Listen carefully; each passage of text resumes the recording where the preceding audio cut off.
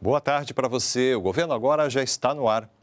Chegou ao Brasil hoje o décimo voo fretado pelo Ministério da Infraestrutura com máscaras compradas pelo governo federal e destinadas aos estados para enfrentamento à Covid-19. O voo veio da China, carregado com 8 milhões e meio de máscaras cirúrgicas, somando 45 toneladas.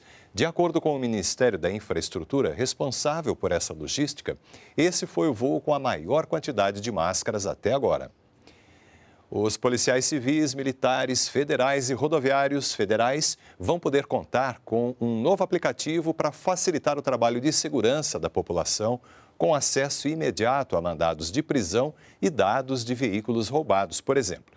O app está sendo testado por 200 policiais do Tocantins, Pará e Acre. A ideia do Ministério da Justiça e Segurança Pública é que a ferramenta esteja disponível a todos em até um mês. Entenda como vai funcionar. Informações como, por exemplo, boletim de ocorrência, como situação dos veículos, ou ainda sobre existência ou não de mandados de prisão, poderão ser consultadas em tempo real pelo policial a partir desse aplicativo em seu próprio celular ou num celular funcional. É uma ferramenta que propiciará uma maior eficácia, uma maior velocidade, uma maior segurança no trabalho policial, de modo a melhorar o serviço de segurança pública prestado pela a população. Estudantes que utilizam o FIES poderão ter até quatro parcelas do financiamento suspensas durante a pandemia. A suspensão dos pagamentos das parcelas do FIES já pode ser solicitada pelos estudantes. A medida vale enquanto durar a pandemia do novo coronavírus e vai seguir algumas regras. Pode solicitar a suspensão quem estiver com os contratos em vigor com pagamento em dia na fase de utilização, carência ou amortização.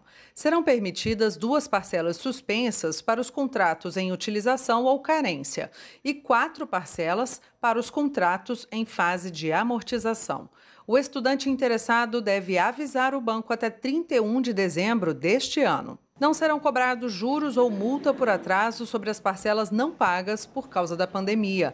Elas serão adicionadas ao saldo devedor do contrato do estudante. Para essa médica veterinária autônoma, a pausa de quatro meses no pagamento das parcelas do FIES representa um alívio nas contas. Com a suspensão do FIES por quatro meses, vai sim ajudar na, na renda.